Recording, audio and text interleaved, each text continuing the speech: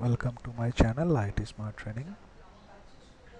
If you like my videos please subscribe my channel and share my videos.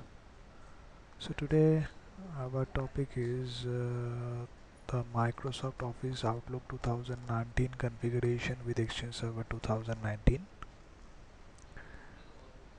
so if you want to connect me on Facebook so my Facebook URL is www.facebook.com slash IT Smart Training so let's start the video.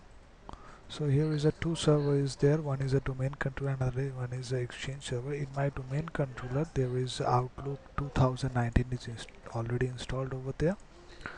So i set a profile name.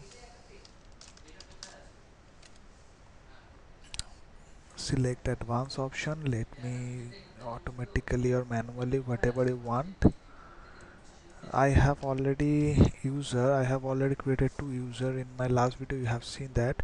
Uh, one is user 1 and one is user 2 so I just logged in here with a user 1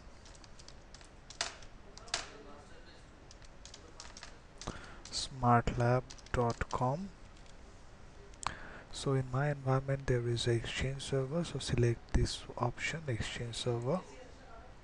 Certificate yes so user 1 is successfully added over here. So just done. When you done is uh, showing a credential uh, box where you have to type your password of user 1 I type a password and it's set remember. So it not uh, informing to every time to get password so this is the user one uh, uh, uh, automatically loaded. So here we don't need to set any configurations of pop or IMAP because uh, exchange server uh, in exchange server that setup will automatically fetch that information. You can go to the settings. Here you can see that the username or settings that all the settings are taken from exchange server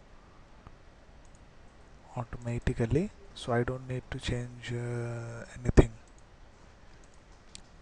So this is how we can create uh, the outlook configuration in exchange server 2019